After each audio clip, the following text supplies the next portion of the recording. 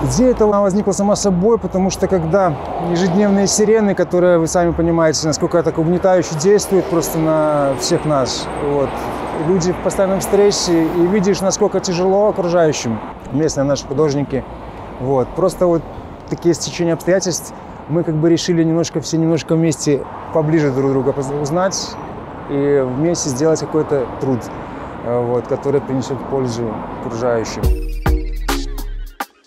хотели хоть как-то изменить эту ситуацию к лучшему, чтобы люди видели и от этого психологически немножечко хотя бы успокаивали, чтобы ну, легче становилось в таких, ну, при таком долгом военном положении, при таком долгом постоянном чувстве страха. И кроме этого всего, я ну, сам лично там по некоторым своим соседям наблюдаю, как насмотрится новостей, то есть, ну, понимаете, и после этого какой уже день, уже не день, уже, понимаете, хотелось немножко света и яркости добавить. На всех, в принципе, рисунках, которые мы делали, реакция однозначно только положительная. Это, тот, это и есть тот вот результат, которого мы, в принципе, хотели изначально. Я всю жизнь рисую, как бы, ну, у меня нет художественного образования, но я всю жизнь рисую.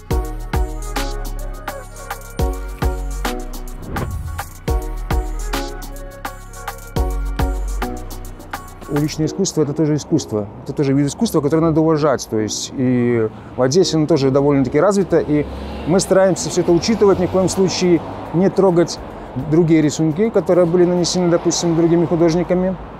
Мы стараемся либо обновлять, либо использовать то, что уже ну, разрушено, грубо говоря, там стена замазана, э, иногда там просто какой-то черной краской там что-то затушевано кем-то. И вот мы используем такие больше всего грязные места, чтобы каждый применял свои способности, свои умения, может быть, именно на благо города, именно в этот момент, наоборот, не замыкаться ни в коем случае, потому что это психологически больше будет, больше будет давить ситуация, а наоборот, как-то стараться друг другу больше общаться, личного общения намного больше, стараться друг друга поддерживать психологически и делом, естественно, если такое возможно, если кто-то умеет.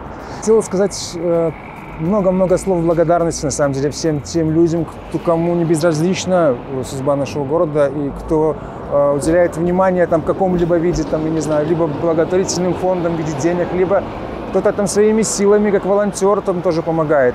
Это просто прекрасно, на самом деле. За это огромное спасибо. Ну, непосредственно, конечно, благотворительному фонду «Плечо плечу» Олегу, то есть, потому что мы вместе с ним сотрудничаем. Спасибо большое всем. И подключайтесь, подключайтесь, да. Надо, надо жить, надо жить, продолжать жить.